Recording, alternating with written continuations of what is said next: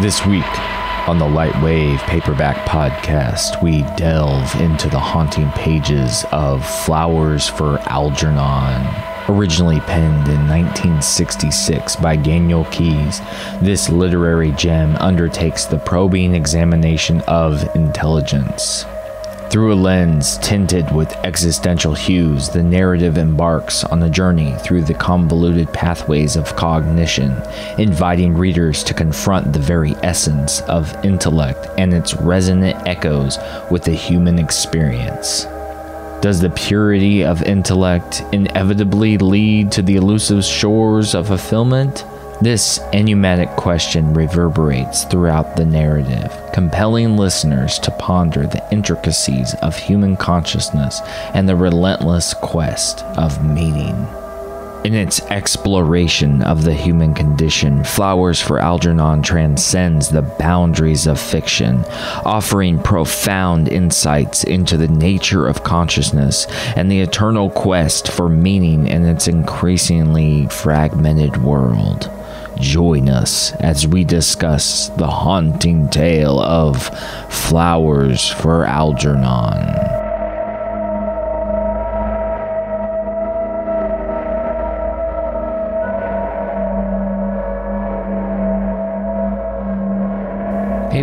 So this week I read Flowers for Algernon, which is an extremely popular novel. It was written in the 60s, and I believe that many people have probably read this, you know, at some point or at least know what it's about. I do not think I've ever read it before. So I, I don't want to call this a reread, but it's it's kind of strange because I'm not I'm not 100% sure whether or not I was assigned this in school. There are certain parts that felt familiar, but I'm not sure if that's because I, I yeah. So I'm calling this, or I read it for the first time, but I'm not 100% sure if I've read it for the first time. So that's that's pretty strange. But there's a good chance that you have read it before. And right up at the top, the first thing I want to say is if you've read it before but you were a kid and you were assigned this at school, just like all books that you were assigned at school, are probably worth rereading as an adult. Flowers for Algernon offers a lot more than I think is given credit for. This book has been the basis of many different interpretations through film and television, and I would argue, having read this the past week, that none of them offer what is actually in the text itself. So if you haven't read Flowers for Algernon as an adult, I highly suggest it. So here's my here's my case of why you should read it. It deals with adult matters. So the main character Charlie is from page one an experiment in a scientific university psychological evaluation. Uh, they're doing some kind of test. So they have the university or a few professors have developed what they believe is a way to increase intelligence through uh, biological means. So there's some kind of biological has I mean it's just a you know technique for the mo- for the novel to exist. It doesn't really matter, but they the professors believe they've found something that can increase a human's intelligence or mammals. It was first tested on mice. And so there is a mouse named Algernon, who is where the book gets its title from. They believe that they've increased some of the mice intelligence. So they believe they've increased Algernon's intelligence. Whatever that means, they think they've done it. So now they're experimenting on Charlie and we're we're reading the book through Charlie's eyes. Okay, so this book is Charlie's diary. He's the one writing it. So automatically, I really appreciate the author Keyes' choice to do this, to to only see it through the experiment's eyes, not the experimentors. So we have no idea what people thought of Charlie before the experiment, during the experiment, or after the experiment, because we only know through Charlie's writing. That's it. And Charlie is someone that has intellectual disabilities. So it's mentioned many times, it's set up very clearly that Charlie has an IQ of around 80. So that's probably a standard deviation, one or two below below the average. So the average IQ humans is 100 and so if he's at 20 that's probably a couple below. So this Charlie has a hard life, but he also has things that he doesn't realize he has until they're taken away. So Charlie is in this experiment. I don't remember how he gets involved in the experiment, but from the very beginning, he's in the experiment. So the only reason why he's writing the diary is because they asked him to write the diary. So that's the only reason why we have the book at all is that Charlie is asked to make a diary and document what's going on with him. He works at a bakery. It appears that for the most part it's almost out of sympathy he has this job. It's mostly just sweeping up very simple tasks and people, you know, they I think they kind of look at him like a grown child. That that seems to be the way he's treated. That seems to be the way people act with him. And this is really exemplified when he's no longer of the intelligence of a child. It drastically changes. All of his relationships change when his intelligence increases. And the whole book is about what what would that do to your relationships what does that do to the way you perceive the world what does that do what does that what does it even mean what does that mean are you going to lose or gain things that kind of thing i absolutely love this book I, it was I mean, I don't know. It was published well before I was born, so I don't know what it was like when it was first published. I don't know what it was uh, analyzed. If you go on Goodreads, it has pretty mediocre reviews, which shocked me. It absolutely shocked me of uh, maybe I shouldn't be surprised of the reviews on Goodreads at this point, but it seems that if I really enjoy a book, it's going to be a 3.5 star, and if I hated it, it's a 5 star book.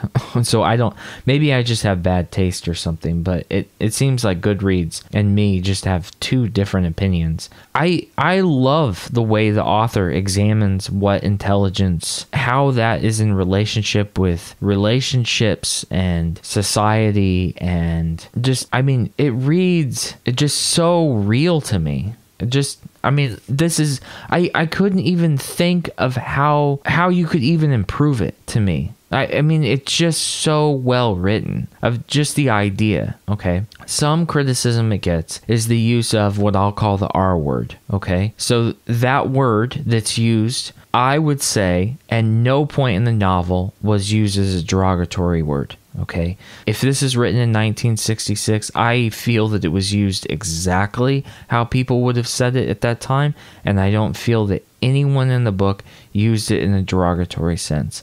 So if this is a diary of someone in 1966, I see no reason to change the language in the book whatsoever. So if someone's reading this book in the 2020s and they're saying I don't like the use of that word, well, that's that's fine. That's your opinion and I understand there's words that I don't want to read about either. That's fine, but I have no problem with this book using the word as they do. There was I had no sense of whatsoever that this word was misused at any point. I can't think of anything. That isn't to say that this book can be critiqued for anything, but that particular point is hit very hard on Goodreads reviews. Not that we should just focus on what's going on with Goodreads, but I, I don't have any problems with that. The discussion of what does intelligence do to your relationships? So, this novel examines if someone's intelligence is increased at a rapid rate, what would that do to relationships? Well, the thing that's going to happen is they're going to start noticing things that they are not necessarily aware of before. Okay, we see that with kids. That is someone whose intelligence rapidly changes. Every year, a child's intelligence grows. Okay, so before they didn't understand anything, and now more and more they notice and synthesize what they notice and grow and grow and grow. We know examining children that is someone whose intelligence does rapidly grow. It just doesn't rapidly grow with adults, okay? That's something that happens to Charlie. He notices things that he wasn't supposed to notice before, and it, it turns out that there was a lot of mental blocks put into place for Charlie, and those blocks are starting to erode. So, one of the blocks was he just kind of took everyone as being nice to him, as as being honest and truthful. And as his intelligence grows, he realizes that he's being manipulated by people, that other people are ma- are manipulating and stealing and cheating, and these are things that are coming to his mind and are not positive thoughts whatsoever. He calls to their attention that he notices these things. They are upset that he calls their attention because as adults, what do we learn? We learn to have kind of a feedback. Is this something I want to bring up? Is this something I should? We have this internal dialogue. He have any of those emotional, intellectual debates because he doesn't have the guardrails because he came, it's coming too fast to him, which is the same thing that happens with children, right? They're too honest. You know, does this shirt make me look fat? Yes, it does. They don't, they don't have that weighing out the options, okay, of of being too blunt. That's that's that's the beauty of a child, and that's happening to Charlie uh, within the matter of weeks. So that's strange. He's 33, and then all of a sudden, his intelligence is just growing daily. You know, it seems like by a percentage, like it's increasing by a percentage. So he calls out someone for stealing, he calls out someone for manipulating them. You know,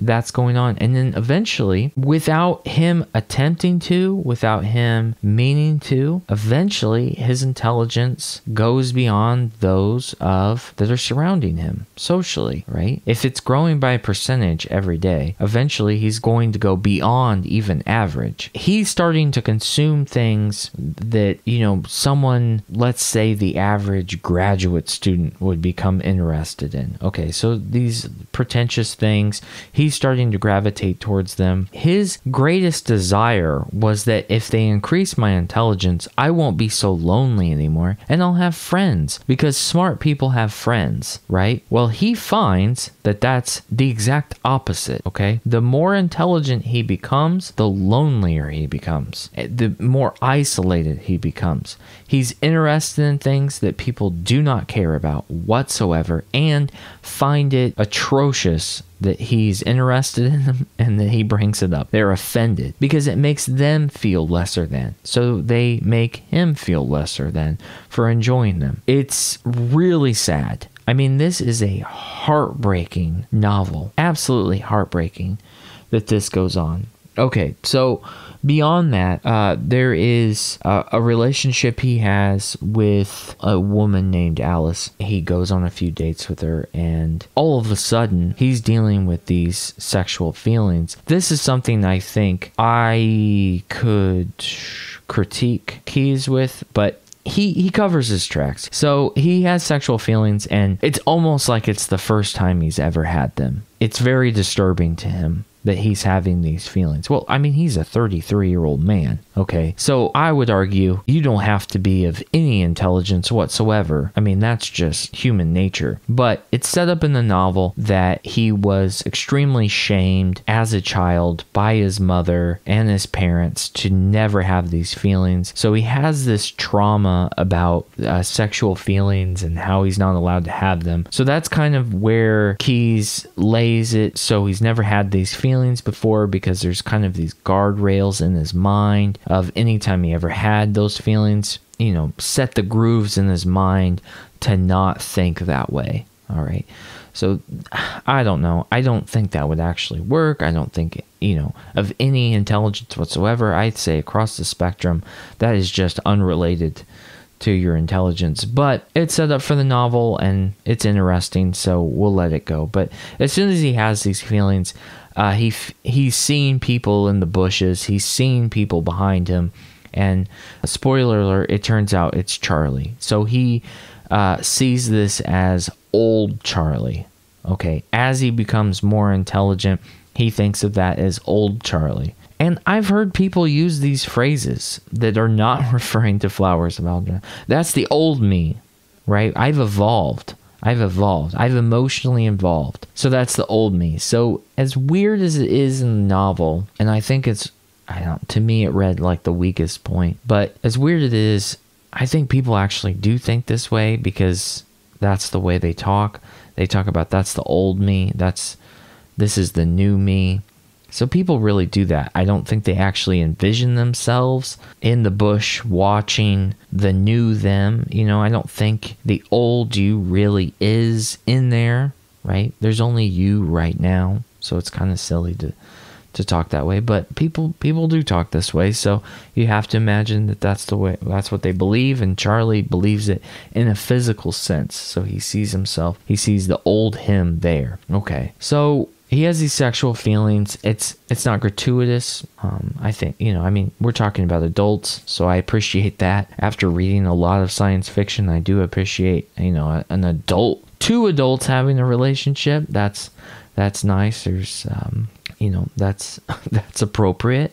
So Charlie has frustrations with relationships because his intelligence growing so much and then the person he's with feels that he's growing beyond her. Okay well we see this happen in our own relationships and uh, we see this happen uh, with other people's relationships that oh this person they grew apart they grew apart. But him he's growing his intelligence growing percentage daily. So yeah i guess that would happen. His interest is going to go beyond this. She feels you're going to grow beyond me. You're going to be bored with me. And so she begins to reject him before he can reject her. Okay that's how people are.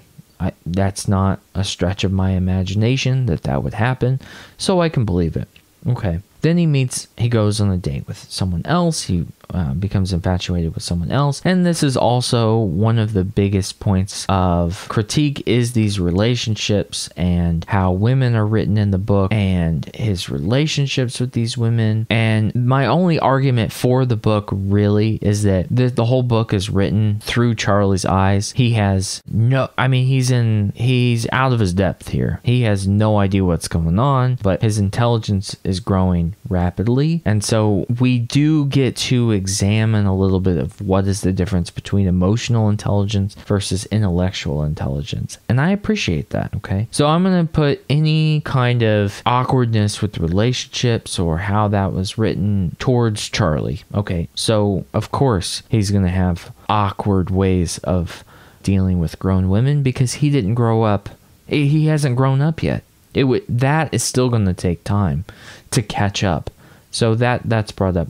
Eventually, it's in the novel. It's proposed that his intelligence has grown beyond that of the professors that are experimenting on him. He sees flaws in their procedures, he sees flaws in their statistics, he sees flaws in their methods, and he realizes that his intelligence is going to rapidly decline. It has spiked it's going to spike and then rapidly plummet. What we see with the mouse Algernon is that the mouse is becoming more and more aggressive, and that happens with Charlie. And when this happens, I think for me, that's where the novel lost me a bit. Um, I, I think when when Charlie Charlie runs away, he becomes infatuated with his neighbor who's kind of artistic and maybe more, I don't know, bohemian, free love, smoking pot, partying all the time, that kind of thing. Uh, he becomes interested in her. He becomes interested in that lifestyle. To me, it was like, okay, this was written in the 60s. This is uh, whatever. And I,